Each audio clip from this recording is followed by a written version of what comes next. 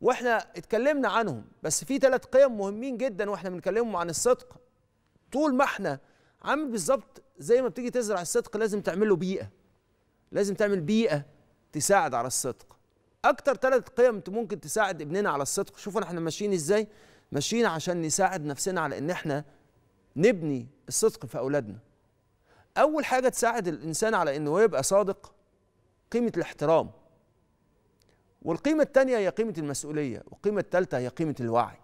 الثلاثه دول الاحترام والمسؤولية والوعي. إيه اللي يخلي قيمة الاحترام تساعد على إيه؟ تساعد على الصدق. لأن الإنسان بيصون نفسه يصون كرامة الإنسان سواء كرامته أو كرامة الآخرين. فيصون كرامته إن هو يتصغر ويبقى حقير. أنا آسف. لما يكون كاذب. الكذب عند الناس ما بيساويش. آه ممكن يحصل على شيء. لكن في الآخر خالص الناس ما تحبش وما تحترمش وما وما تحسش بإن هي محتاجة إن هي تقعد مع حد كذاب.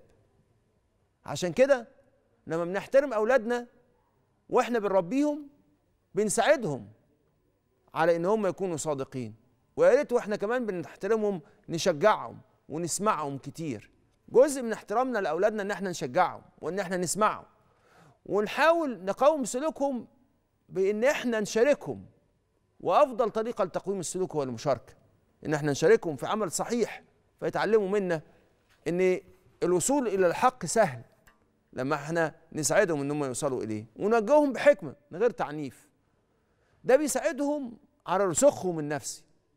الشخص الراسخ نفسيا اللي مش مهزوز اللي دايما بيحاول إن هو يكون شخصيته ويكون صادق مع نفسه في إن هو ما يعتبرش نفسه كامل فخلاص توقف عن إن هو يحسن نفسه إيه اللي حاصل؟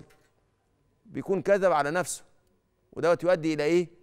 يؤدي إلى ضياع شخصيته. ولذلك الاحترام يجعل الإنسان صادق مع نفسه. الاحترام بيجي من الإنسان يكون صادق.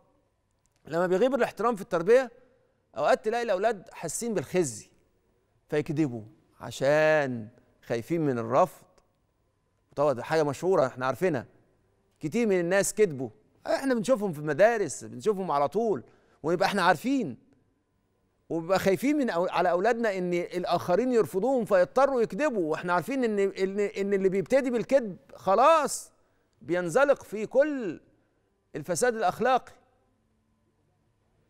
محدش ابدا يحاول يمارس الرفض مع أولاده لأنه ساعتها مش هيكون الإنسان قادر إن هو يكون صادق. ولذلك من أكثر التحديات اللي بتواجهنا دلوقتي وبيبان فيها كذبنا على نفسنا أو على الناس هو عرض نفسنا بصورة غير حقيقية على السوشيال ميديا. عشان ننال كم كبير من الإعجابات فيؤدي ذلك إن إحنا نعيش عيشة ملهاش حقيقة. وعيشة ملهاش طعم. وأنت لما تحصل على لايكات كتير إيه اللي هيحصل؟ ولا حاجة زادت في حياتك لأن دي مش حياة صادقة حياة كذابة. فبعض الدراسات بتقول إن إدمان ال social media بيساعد في بناء ما يسمى طبقة أخرى على الذات. تبقى أنت مش أنت. وتعيش ولذلك كتير من الناس بيعيشوا بشخصيات وهمية على ال social media. طبقة دي اللي هي الطبقة اللي موجودة على الذات دي بتتغذى على اللايكات المعجبين. مش على التطوير والقيم الإضافية في حياتك. وعشان كده بتبقى حياة مش حقيقية وبتبقى حياة كلها وهم. القيمة الثانية اللي إحنا لازم نساعد نربي أولادنا على إن هي تبقى موجودة عشان تساعدهم على الصدق قيمة المسؤولية. المسؤولية دي بالذات هي اللي بتخلينا لما نخطئ نسعى للإصلاح. وكل ما الواحد فينا يمشي في الحياة يحس إن هو كلكم راع وكلكم مسؤول عن رعيته كما قال صلى الله عليه وسلم. فيخلي الواحد مسؤول فيبقى صادق. أنا أخطأت لازم أصلح. إن أريد إلا الإصلاح. كلام سيدنا شعيب. إن أريد إلا الإصلاح ما استطعت. وما توفيقي إلا بالله.